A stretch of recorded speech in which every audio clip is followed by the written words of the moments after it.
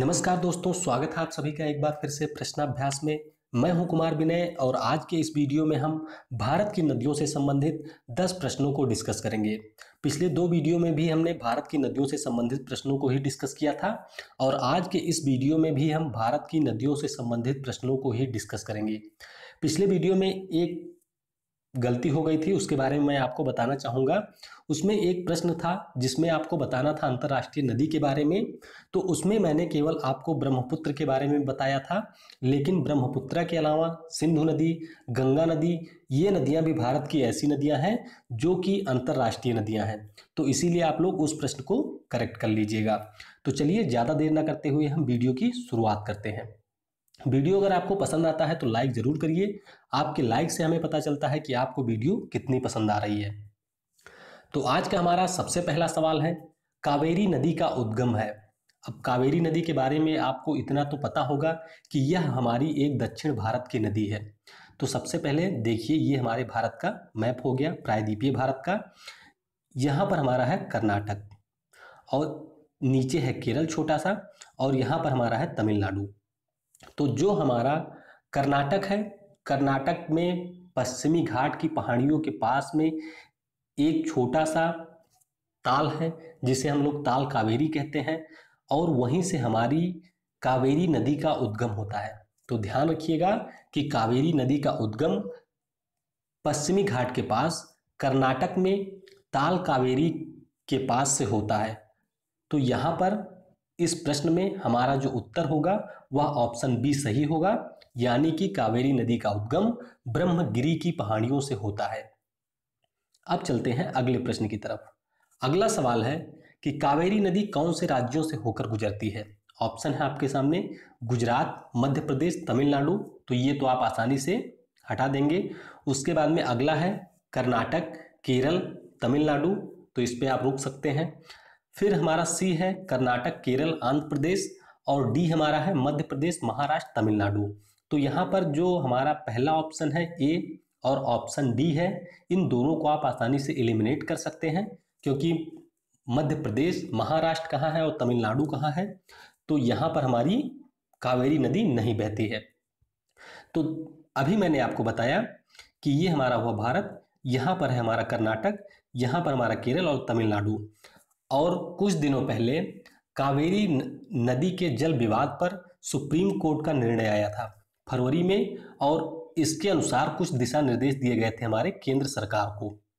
तो काफ़ी ज़्यादा चर्चा में भी है कावेरी नदी, और कावेरी नदी जल का जो विवाद है वह तो काफ़ी समय से चर्चा में है तो इसीलिए यह आपके लिए काफ़ी महत्वपूर्ण हो जाता है कि कावेरी नदी से संबंधित जितने भी तथ्य हैं, उन सारे तथ्यों को आप याद रखें।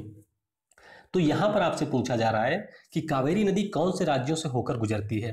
तो ध्यान रखिएगा कि कावेरी नदी जो हमारी है, वह कर्नाटक, केरल और तमिलनाडु से होकर के गुजरती है।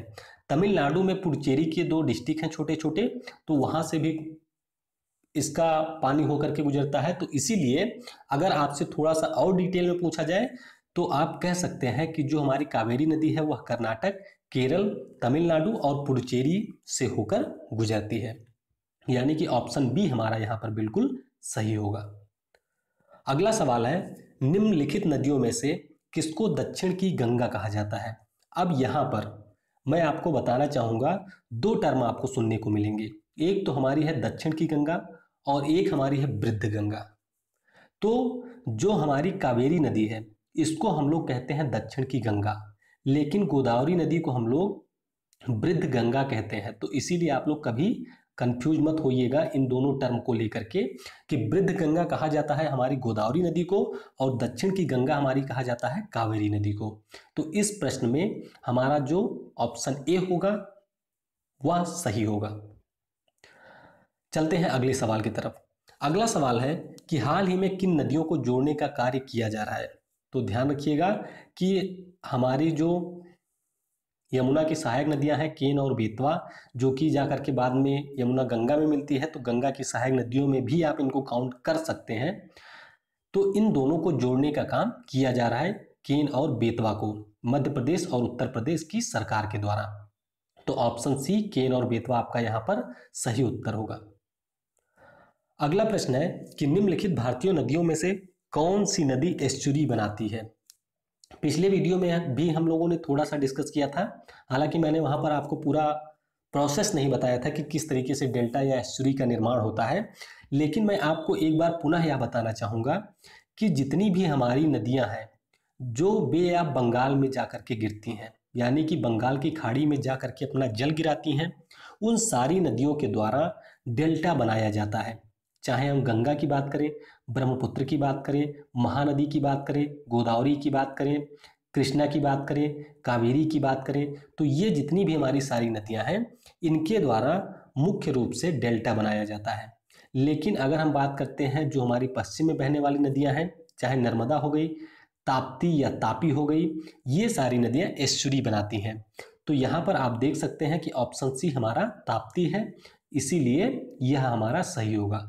ताप्ती नदी के द्वारा एस्चुरी का निर्माण किया जाता है। अब मैं आपको यहाँ पर बताना चाहूँगा कि ताप्ती नदी को तापी नदी भी कहते हैं। ध्यान रखिएगा कि ताप्ती नदी को हम तापी नदी भी कहते हैं और इसका ओरिजिन मध्य प्रदेश से होता है। अगला प्रश्न है कि निम्नलिखित नदियों में से किस नदी का जल ग्रहण क्षेत्र सर्वाधिक है?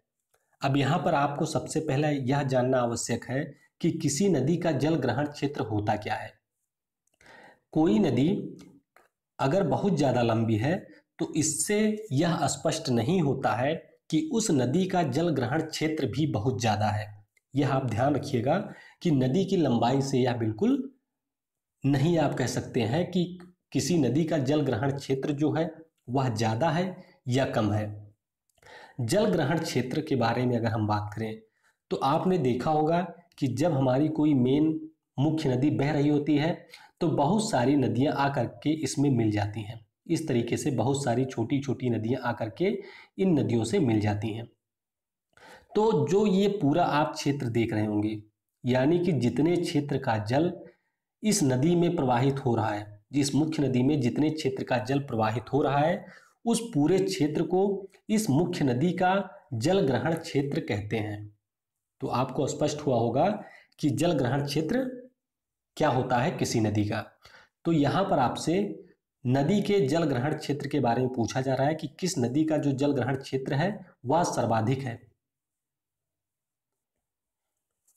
तो इस प्रश्न में जो हमारी गोदावरी नदी है, जिसे हम लोग वृद्ध गंगा भी कहते हैं, उसका जल ग्रहण क्षेत्र सर्वाधिक है। प्रायद्वीपीय भारत की सबसे लंबी नदी भी यही है और इसका जल ग्रहण क्षेत्र भी सबसे ज़्यादा है। तो ऑप्शन ए हमारा यहाँ पर बिल्कुल सही होगा। अगला प्रश्न है कि प्रायद्वीपीय भारत की सबसे लंबी नदी कौन सी है? तो ध्यान दीजिएगा कि जो हमारा प्रायद्वीपीय भारत है, उसकी सबसे लंबी नदी गोदावरी ही है। जैसा कि हमने अभी पहले डिस्कस किया कि गोदावरी नदी का जलग्रहण क्षेत्र भी सबसे ज़्यादा है और इसकी लंबाई भी लगभग चौदह किलोमीटर के आसपास है। तो गोदावरी नदी प्रायद्वीपीय भारत की सबसे लंबी नदी है। अब बढ़ते हैं अगले सवाल की तरफ़। अगला सवाल है कि कौन सी नदी उड़ीसा में अपना डेल्टा बनाती है?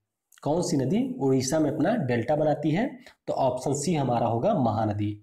महानदी जो कि अमरकंटक की पहाड़ियों से निकलती है। मैंने आपको पहले बताया था कि अमरकंटक के शिखर से यह निकलती है और इसके द्वारा उड़ीसा में डेल्टा का निर्माण किया जाता है। यानी कि हमारा ऑप्शन सी, महानदी बिल्कुल सही होगा। अब बढ़ते हैं अगले प्रश्न की तरफ़। अगला प्रश्न है कि जो नदी शेष अन्य से भिन्न है, वह है। अब यहाँ पर थोड़ा सा रीजनिंग टाइप का सवाल आपका यह हो गया। यहाँ पर आपको बताना है कि ये जो चारों नदियाँ दी गई हैं, इन चारों नदियों में से एक नदी ऐसी है जो बाकी तीन से अलग है। अब यहाँ पर आपको देखना होगा कि किस बेसिस पे आप किसी एक नदी को इसमें से इलिमिनेट कर सकते हैं तीन अन्य नदियों से। तो हम लोग सबसे पहले देखेंगे कि जो हमारी नदी है उसका जल किस सागर या महासागर में जाकर गिराया जा रहा है? अगर हम बात करते हैं नर्मदा नदी की तो यह जाकर के अपना जल गिराती है अरब सागर में बे ऑफ़ खम्बात में। सिंधु नदी भी हमारे कराची के पास जा करके अपना जल गिराती है अरब सागर में। अगर हम बात करें ताप्ती नदी की तो ताप्ती नदी भी अपना जल गिराती है अरब सागर में। लेकिन अगर हम महानदी की बात करें तो यह बंगाल की खाड़ी में अपना जल गिराती है। तो यहाँ से आपको क्या स्पष्ट हुआ? कि जो हमारी शुरुआत की तीन नदियाँ हैं, वह तो अपना जल अरब सागर में गिरा रही है। लेकिन जो हमारी महानदी है, वह अपना जल बंगाल की खाड़ी में गिराती है। इसीलिए ऑप्शन डी हमारा यहाँ पर बिल्कुल सही होगा। महानदी हमारी एक ऐसी नदी है, इन चारों नदियों में जो अपना न, अपना जल बंगाल की खाड़ी में गिराती है, बाकी तीनों नदियाँ अपना जल अरब सागर में गिराती हैं। तो आज के इस वीडियो का आखिरी प्रश्न है कि सोन नर्मदा और महानदी निकलती हैं। तो आपसे पूछा जा रहा है यहाँ पर कि सोन नर्मदा तथा महानदी निकलती हैं। यह आपसे मैंने पहले भी कई बार डिस्कस किया है और एक बार मैं आपको फिर बता दूँ कि जो हमारी अमरकंटक की पहाड़ी है, यानी कि यह एक पर्वत शिखर है, यहीं से हमारी तीन नदियाँ निकलती हैं। पहली हमारी हो गई सोन नदी, जो कि उत्तर पूर्व की दिशा में बहती है और यह पटना के थोड़ा सा पहले गंगा नदी में जाकर के मिल जाती है। उसके बाद में इसमें से नर्मदा नदी निकलती है, जो कि अरब के सागर में जाकर के गिरती है, और तीसरी हमारी है महानदी, जो कि बंगाल की खाड़ी में जाकर के अपना जल गिराती है। तो इस वीडियो में फ़िलहाल के लिए इतना ही। आपने अपना समय दिया। उसके लिए आप सभी को बहुत बहुत धन्यवाद। आज शाम को आपके लिए एक वीडियो मैं लेकर के आऊँगा, जिसमें हम लोग इकोनॉमिक्स के इसी प्रकार से दस प्रश्नों को डिस्कस करेंगे। तब तक के लिए नमस्कार जय हिंद जय भारत पढ़ेगा इंडिया तो बढ़ेगा इंडिया।